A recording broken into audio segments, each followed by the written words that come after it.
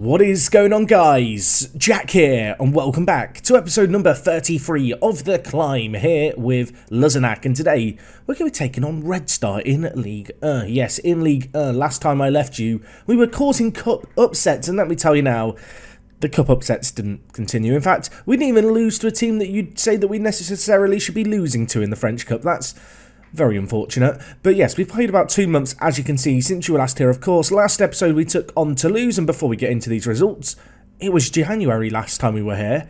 And I've got busy in the market. I've got frisky in the market. What does that even mean? I don't know. Um, we made one sale since you were last here. It's Stephanie Zobo going to Red Star, who we played today it will probably be quite typical if he comes on off the bench to score against us. But ultimately, Zobo, we brought in on a freebie a few years ago, really didn't set the world alight with his goal scoring record in the last season or two.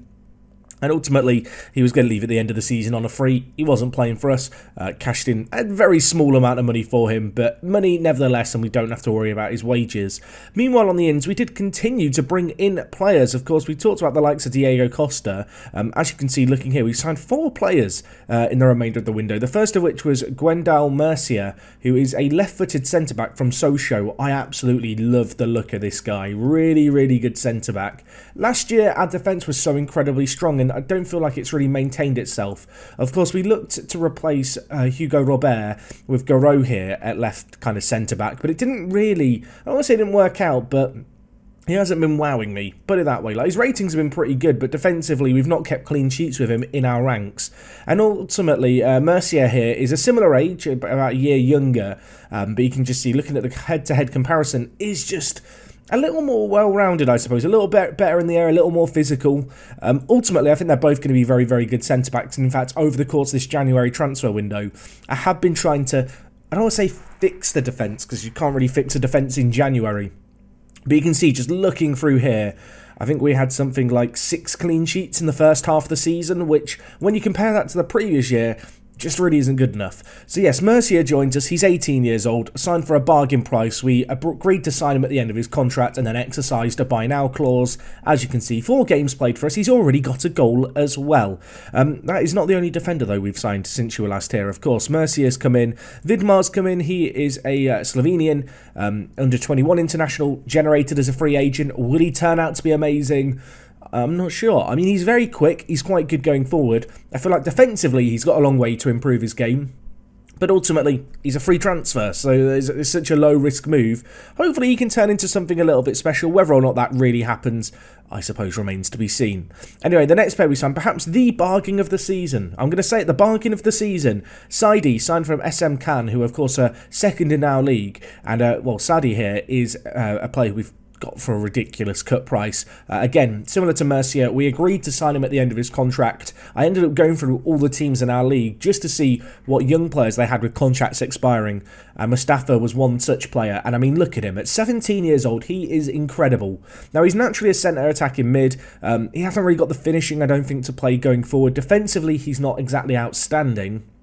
So, uh, in terms of where I see him slotting into the team, I think he could be a really good box-to-box midfielder longer term. Uh, really well-rounded. He's got super good mentals for his age, extremely technical.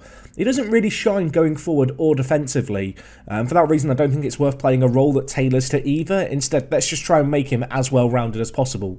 But yes, 17 years old, signed for £8,000, two appearances already, both on off the bench. Um, a player who is kind of signed for the future, but at the same time, I want to give some game time to because he looks really, really good. Anyway, the final signing we've made, one of the biggest signings we've made in recent memory in terms of fee played, it is Edgar Sandy. I'll let you know what. I'll, I'll, I'll, just leave it here and let you decide your opinion on Edgar Sandy.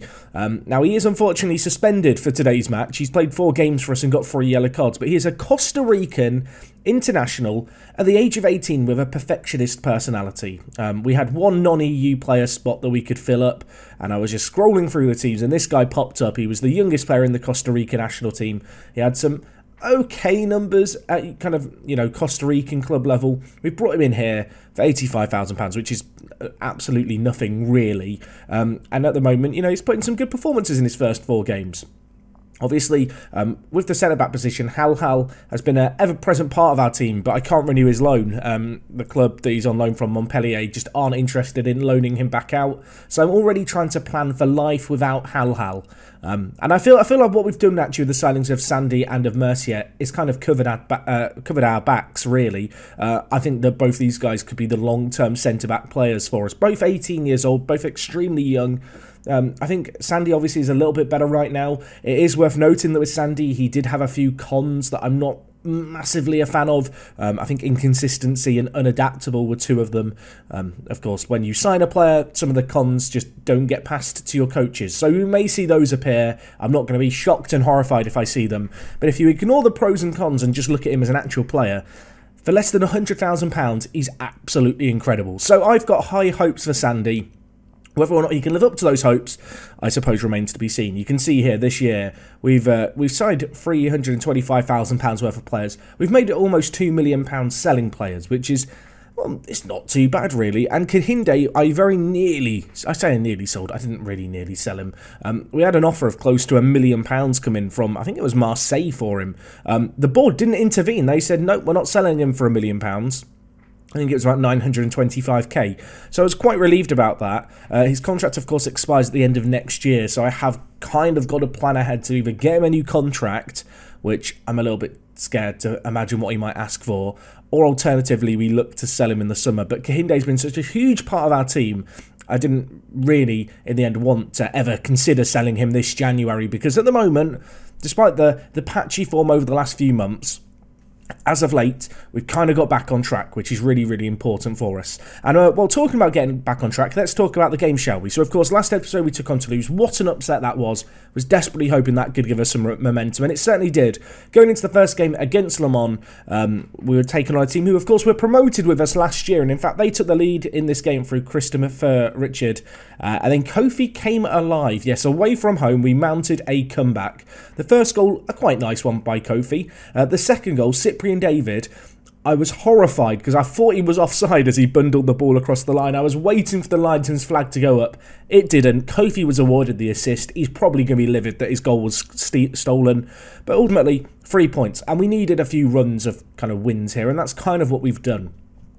Anyway, the very next game was against Lorient. It was in the French Cup, taking on a team in our own division. It wasn't the super sexy French Cup fixture I was imagining, and we lost it 3-2 after extra time. And a 116th minute goal was the killer uh, in this game. If we just look at the match stats, it was a pretty even game. I think we were fortunate perhaps to take it to extra time. Blaise and Kofi were getting the goals for us, but the better team kind of won on the night. And like I said last time, you know, the French Cup, it'd be nice to go on a good run in it, but ultimately I, I want to try and maintain our playoff spot, and that is something that we've certainly made big steps towards doing uh, as of late. Anyway, the next game we had was against Châteauroux. We won this one 2 1. Julian Blaise with an incredible goal within the first minute of this game. Just absolutely ridiculous. Uh, they did fight back and get a goal just after half time. They had a sending off, though, in the 23rd minute. I kind of went for the killer blow then, and I think that maybe left us a little exposed at the back. The good news was, despite going, uh, well, getting pulled back even, Fomba was lurking at the back post. He bundled a ball over the line from a corner and we won this game 2 1. Not the most convincing of results, particularly because they had 10 men for 17 minutes, but ultimately, a win is a win. And I was hoping that that midweek fixture was going to build up some momentum going into the game against Caen, and uh, well, it didn't. It simply put, um, of course, the Caen are in second in the league. So this was a good chance for us to close the gap on the automatic promotion spots. Although at this point we found ourselves quite far behind them. Um, but ultimately they won 2 0. It was a close game. We had the better clear cut chances. They had more half chances. I think 2 0 flattered them a little bit. They were pretty clinical, both goals coming in the first half. We just didn't really get going. And as my grandma likes to say, if you can't score a goal, you can't win a game. And, well, we didn't score, so I can't really make a claim that we deserve to win this game. The good news is that in the month of February, following on from that defeat, we are currently unbeaten, and we got a few clean sheets as well. Yes, the shuffling of the defence worked wonders. Against Niort, we won 3 0. You can see here Sandy and Mercier playing at centre back with Billingy and Russo at left back and right back. Kehinde got man of the match in this game. He got a goal and an assist. Blaise and Kofi just doing their thing. Blaise and Kofi just get all the goals for us. I don't want to say we're overly, overly reliant on two players, but we are quite reliant on them. It's kind of funny because they both have 10 finishing. They're, they're both they're not particularly great finishes, and yet uh, Kofi has 14 goals this season. and Blaise has nine. They are just getting all the goals in the league for us. Who needs a star striker when you've got those two? I'll tell you who needs them. The team who took on Harvard in the very next game because it finished nil-nil. So that's a little bit rich, isn't it? But another clean sheet. Defensively, we, we, we, were good. That's the main thing. And most recently, we took on Chambly, which we won 3-2. This was a bit of a crazy game, to be honest. Uh, Kofi got us off to a flyer with the opening goal of the game after 15 minutes, but they replied twice within the next four minutes. It was nuts. It was absolutely bananas. Chambly, a team who are lurking right down there at the bottom of the league, we should be beating them. If we want to be getting promoted this year, we have to win this kind of game, essentially. They were 2 1 up at the break. Uh, I got shouty shouty at them, and then Kofi missed a penalty. Yeah, that was a thing. Um, the good news is that Kofi got a goal in the 63rd minute, just three minutes later, bounce back. That mental fortitude and in fact, he did go on to get player of the match in this game despite missing the penalty. And then late on, Gwendal Mercier, the youngster joining us from Sochaux, grabbed the winner, a header at the near post, channeling his inner Hugo Robert. Um, of course, he is a bit better in the air than other options we've had. He's got 15 jumping reach and 11 heading. Maybe he's the next Hugo Robert. That's what I want to believe. But he got the goal in this one. He got us the win. And, uh, well, looking just at this run of results just as an overview, we're finally getting our groove again, I think. Some clean sheets were nice. You know, the, the signings have worked in terms of just, I guess, sorting things out a little. As I mentioned, unfortunately, um, we've got a suspension today with Sandy, so Hal Hal is going to come back in. But in terms of planning for life without Hal Hal, we've got really good centre backs now. We've got really, really good centre backs. Of course, we've got Sandy the Costa Rican. We've got. Um, Garou, who we signed at the start of the year, who's put in some good performances, to be honest, has a little bit of potential to improve. And behind them, we've still got the likes of Christopher Payet, a player who's improved a lot over recent years. We signed him from Béziers at the start of last season as a freebie. And I didn't really realise how much he's improved. He looks like he could be a pretty good fourth choice centre back for us if we're still in this division next year. Um, yeah, I really do like. He's, he's, it's one of those ones where I've checked the under 20s and just gone, oh my word, we have this guy playing for us. I'm sure you've been in that situation where a youngster's just improved ridiculously. Payet has been that man. Of course, Hugo Robert still lurking in the team as the backup of all backups. Um, he's not played immense when we've played him this year, to be fair to him. Anyway, just have a quick look at the league table. This is how things look right now. With 13 games left of the season, uh, we are two points behind Sochaux. We are level on points with Lorient, who knocked us out the French Cup. Dijon are now down in sixth, and Auxerre, well, they have fallen way, way, way off the pace. I mean, look at that form. They've drawn four of their last five games and lost the other. It is worth noting with the playoffs, a bit of a unique format here in France. So the way it works is fourth plays fifth, then the winner of that game plays third, and then the winner of the third versus you know the winner of this game, they then play the playoff final essentially against the team who finished third from bottom in League 1. So at the moment that would be Angers. Um, Toulouse are down there. I, I will happily. We've beaten them. We could do it again. I would not be mad to play Toulouse. Um, but yeah, it's a bit of a unique format. So actually, it's not one of those situations where we go, yeah, we're in the playoff. This is great. Realistically, I want to be finishing as high as we can. Third would be a really big difference maker. We're going to be looking to hunt down Sochaux. Now, today we take on Red Star, who are down in 15th, and the reason I chose to do this game is because I think it's going to be a good chance to see how much we've progressed, because at the start of the season we started immensely, and then our very first defeat of the season was against Red Star. So today we've got a chance to make amends, to fight off our demons. And then following on from this game, you can see here we've got the likes of Troyes, uh, VAFC, Ajaccio. Dijon in 6th is going to be quite a big game. I think Guingamp, I think Lorient in 5th will probably be next episode's game. And then that sets us up nicely for potentially a huge game to end the season against Sochaux in the league. Anyway, we're going to get into this game. Uh, in terms of team selection, besides the suspension to Sandy, we are in a pretty good spot. Um, I've kind of settled on a, a, midfield at this point. It's taken a little while, but this is the midfield I've been going with. Um, it's kind of been a weird blessing in disguise because Bavarel was causing me some headaches because he was complaining about lack of first team football and wanting to play. With him gone, so much less of a concern. Also, just to quickly compete, uh, compare Saidi, the guy we just signed um, you can see here, to Bavarel. I mean, who would you rather have in your team? I'm going to leave it up. They're kind of slightly different players, but I feel like considering we sold Bavarel for half a million pounds to get Mustafa Saidi from Caen on a freebie, where we're kind of exercising a buy now option, having agreed a pre-contract, I think we've done really bloody well, if I might say so myself. And in fact, Saidi is good enough for a spot, spot on the bench in our team. But yeah, as I said, the midfield is kind of settled now. Big Dub has uh, been pretty good as of late. He's had a, maybe a little bit of a quiet run, to be fair to him, but his numbers overall in the league have been beyond solid. Um, elsewhere, the striking department is still the kind of big question mark, really. You know, I've played Kofi up there, I've played Cyprian David up there, Nuno Cruz. I've seen the Nuno Cruz fan club in the comment section saying you've got to give Nuno more games. I've given him a lot of chances, and to be fair, in the league he's done okay, but.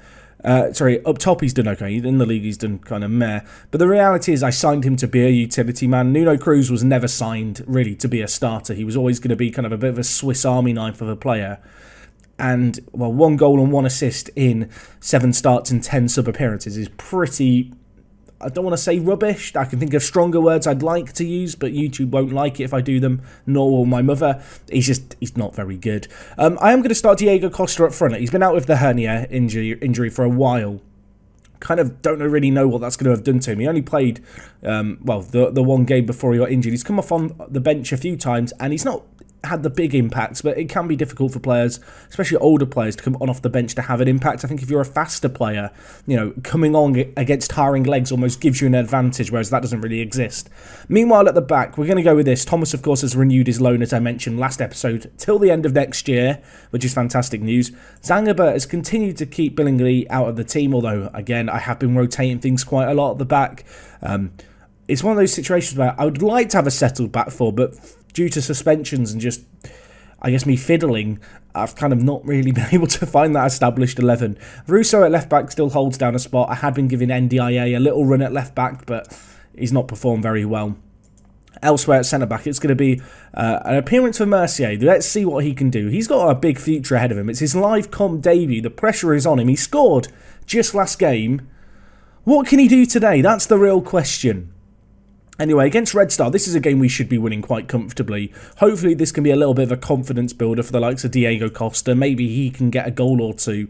And, uh, well, a win here would really help us out. Of course, you might have seen in the league, uh, we are four points in the playoffs now. So that's kind of what we're holding on to, I feel like, at this point. If we just look at the league table. Um, we want to extend the gap over Dijon if we can. I would like to try and hunt down Caen, although they're eight points ahead of us. It feels a little unrealistic to be even considering that right now. Uh, it's definitely not an unassailable gap, but they've not really been dropping points, and we would have to go on a really good run of form. And to be fair, the last month's been a pretty good kind of reason for optimism, I feel like, with our team. We've done reasonably well. If we can keep it going, um, I could see us really making, well, hopefully a late charge up the league, but ultimately just cementing a comfortable playoff spot would be in my interest. Anyway, Zangaba goes short to Kehinde, who goes back to Zangaba. They've got their little link-up play going on here. Diego Costa gives away the ball horrifically. Diego, what are you doing, son? What are you doing? Catherine's through. Catherine's through. Can they finish? Thomas, get up. They can finish at the second time of asking. What a weird goal. I mean, the dribbling by Eric Catherine here, that's not how you say his name, I'm going to just call him Catherine, was pretty tasty, to be fair, and he is very, very quick, but Diego Costa's been caught napping. He has been caught napping. We've taken a deep free kick short. We've sent up our centre backs for the set piece. And then, well, they've broken away like that. And Thomas dives once. He dives again. He just can't get there. The rebound off the post was kind to Red Star. And they take the lead in this game. And just as I'm talking about the fact that, oh, a win would be nice, you know, we need to keep some momentum going, we find ourselves a goal down at the break from their only shot on target. And you know what, Diego? I think I've seen enough, mate. I think I've seen enough. We're going to bring in Cyprian David and I'm going to move him out to the right-hand side, move Kofi to advance forward. Um, I feel a bit bad for Kofi because he's performed well everywhere I've put him, but I kind of just stick him wherever other players aren't performing and he kind of just does the job for us. Um, I mean, hopefully he can do the job for us here, although already 15 minutes through this half and absolutely nothing going on which is a little bit of a concern. I want to stay on positive, but I do want us to get a little bit more direct in our play for the next 10 minutes with a view to maybe go more attacking. Kehinde over the corner here, whipped in. Cyprian David is under it, headed clear. Julian Blaise. Hal Hal hits it. Welcome back, Hal Hal. Been out of the team as I've looked to bed in our new signings, but with the suspension today, he's come in and with his beautiful little bit of hair, what, what little bit of hair, he has a cool haircut, is what I'm getting at. He scored that. I mean, it's not the most convincing of goals from the centre back. The keeper's had an absolute Weston Super supermare I was about to make a change, but there's another highlight starting. We've moved up to fourth, everyone. Relax. Relax. It was never in doubt. Could we get another in quick fire? Blaise bringing it forward. Tackled hard. Arab now with the ball. Can, could we win back the ball in the high areas of the pitch here? I do like us to press. They've knocked the ball wide to Gerard. Zobo on off the bench. Our former man. He has no match sharpness for him. I'm just waiting for him to score now. That's that's what's going to happen. I'm just waiting for it. Football manager, get. I'm ready for you to hurt me. I'm ready for you to hurt me. Catherine through again. Not like this. Not like this. Thomas tips it over. Only a third shot on target of the game for Red Star, although they have had the better of the clear-cut chances. They've now got a set piece through Gerard, although given the fact we just had a clear-cut chance that was saved and went out for a corner, the following corner is usually just a load of rubbish. Um, we're going to go more attacking here. Um, I know Kofi hasn't had the best of games, but Kofi is the kind of player where I feel like I leave him on and he just sometimes it'll come up with the big goal in the big moment. I'm going to take off um, Big Dub, and in fact, we're going to bring in, I think, Luis Carlos. Equally, Fomba's been a bit quiet. So you know what, Saidi, this is your chance to make yourself a hero. 17 years old, definitely one for the future, but good enough to play a role in the first team now. Can he have the big impact on the big stage? Feel like the box-to-box midfielder role in our team doesn't always contribute a great deal, so maybe we shouldn't expect it as Blaise runs through. Blaise, what can you do? Puts it wide is what he can do. He can't even find the target. Great run by him, though, through the centre. Red Star looking on the rocks, perhaps there for the taking. Time is just trickling away in this game, and there's part of me that really wants to chase this game. There's part of me that wants to tell the fullbacks, you know what, get further forward, push up. There's also part of me that knows that this sometimes leaves us a little exposed at the back. But you know what, we need to win this kind of game. We should be winning this kind of game. I am willing to gamble. And, uh, well, say I'm willing to gamble. Of course, I've made the tactical changes 10 minutes before the game's over, so we're not going to have any more highlights. It finishes 1-1. And I'll tell you what, that is a very, very... It's unfortunate, actually, in some ways, but they did have the better clear-cut chances. But as far as we're concerned, it's a very, very disappointing result. We maintain an unbeaten run, I suppose, but you can see with that result, Dijon... Uh, in fact, Dijon didn't close the gap. Did Dijon draw as well? They did. That's a blessing. Um, you can see, though, Lorient won um, from the looks of things. Yeah, they won 1 0 over Sochaux. I didn't even realise those two teams were playing each other. So that makes this situation even more close. We've got a team on 47 points, a team on 48, a team on 49. Meanwhile, we currently can't beat the team down in, in 14th place on 28 points, which is very, very frustrating indeed. Uh, especially at home, we should be winning that game so comfortably. You can see here uh, the Nice boss clearly likes the looks of Kehinde, Kofi, and Blaise. Yeah, could you go away? Go stop stop stalking our players. It shouldn't be legal.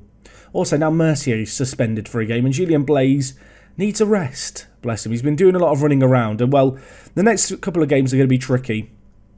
I think, but looking further ahead, I think next episode we're going to come back for the game against Lorient. They are in third. We should have had a youth intake sometime in March. I haven't talked about the preview for it, but it looks like it could be another very good one. Um, apparently, we have a one winger who looks like a great prospect, a left back who, who's caught in the eye, potentially a golden generation. Although we've heard that the last couple of years, and even last season's kind of youth intake wasn't that immense. I would love to have a few great young players. Um, there is a lot of negatives, isn't there, for a golden generation? A lot of positions where we're not getting players. Um, I suppose we'll have to wait and see on that one. Hopefully, next episode I'll be coming back with a beaming smile on my face and showing you my new children. That's some weird sentence without any context, isn't it?